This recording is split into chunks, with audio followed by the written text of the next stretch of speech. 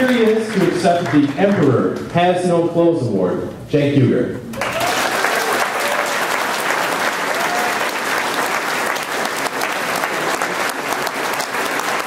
Thank you. Thank you so much. Thank you, uh, Freedom from Religion Foundation, for giving me this award. I really, really appreciate it. And uh, I know I probably got it for uh, saying these things on television, which uh, doesn't happen often on national television. Um, but we're the future. Uh, television is a part of it, but as they were telling you, uh, we've got a little bit of an audience online.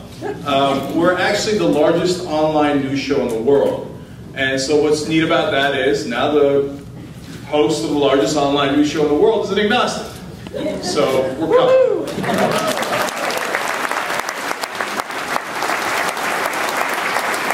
There are great, great religious people in the country.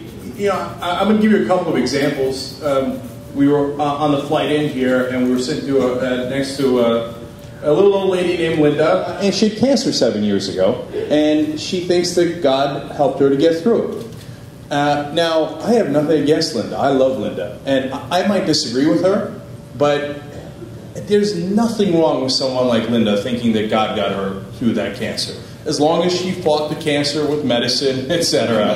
That, that also helps. And she did. And so, of course, nothing's black and white. There are good things in the Bible, turn on the cheek, you know, the Sermon on the Mount, etc. And in Quran, there's a lot of great things too. My personal role model uh, is a reverend, uh, Reverend Martin Luther King Jr. And, uh, and, you know, Christians like that have helped uh, the world become a much better place. Is there a higher consciousness? Are, I hope so. are, are human beings the highest consciousness in the universe? God help us if we are. so one particular policy uh, that had a lot of fundamentalist Christian backing, including a fairly important guy by the name of George W. Bush, was the invasion of Iraq. And there's a story in Jacques Chirac's uh, biography where Bush goes and talks to the French prime minister, and, or forget if he was the prime minister or the president at the time, and says, uh, you know, among the other things that they discuss, one of the things he says is, you know, we, uh, Iraq, uh, Gog and Magog are supposed to come out of Iraq. And Chirac's like, what? He's like, what the hell is Gog and Magog? and he literally has to turn to uh, an aide and say, hey, can you look that up for me? And, and this guy's a lunatic, right? Gog and Magog, that's why we invaded Iraq? And hundreds of thousands of civilians died. Those are real people, aunts and uncles and grandmothers that somebody cared about, and kids that they had open. And they all died because that idiot Bush thought Gog and Magog comes out of Iraq. So how do we do it? Well, we have a, a very important thing on our side. It's called the truth. and that is why they are so scared. That is why they don't want to hear the argument. That's why they scream, I'm offended, I'm offended, I'm offended. Uh, that's why they've made up a whole fantasy of rationalizations for things that you, when you challenge them on, they don't have an answer for. So my uh, idea is, hey, why don't we do our best effort and when I say war, I don't mean like they do. I don't mean obviously with violence or with physicality. I mean with ideas and with logic and with reason. You have so many weapons at your disposal. Just open the Bible to any page. so, for example, uh, you know, Leviticus is of course famous. Uh, man shall not lie with a man.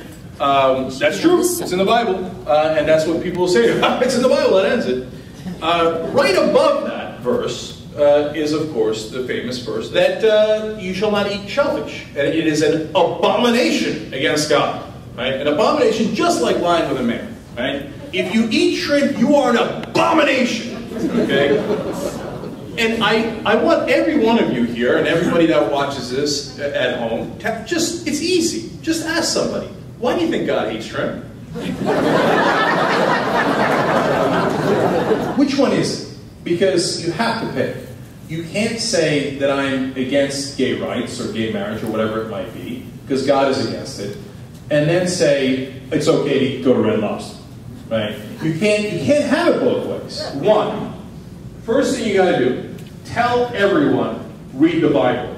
Okay? read the Quran, read every religious text, uh, because they don't know. There's been study after study uh, asking religious people what's in the Bible. They have no earthly idea.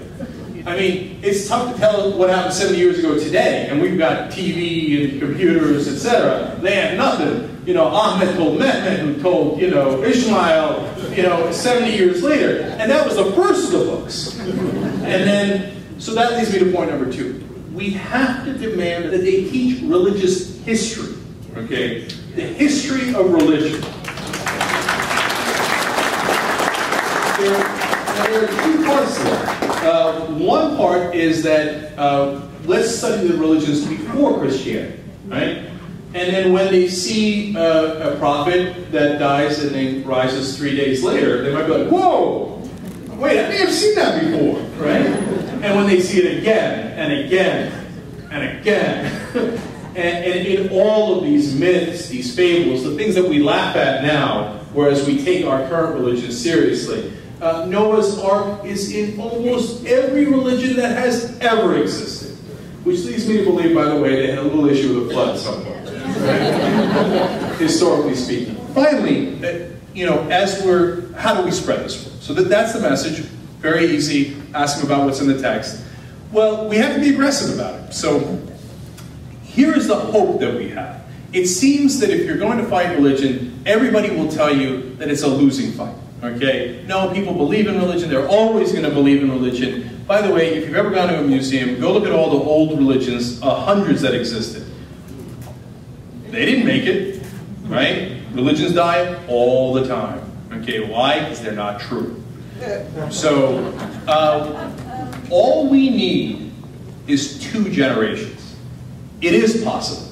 Okay, we have to dare to believe.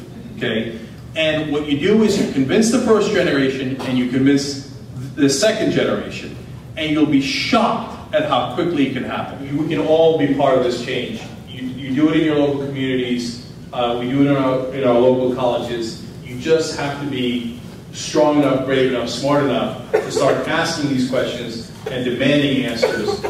We can be that, I think somebody said this before, the change we believe in.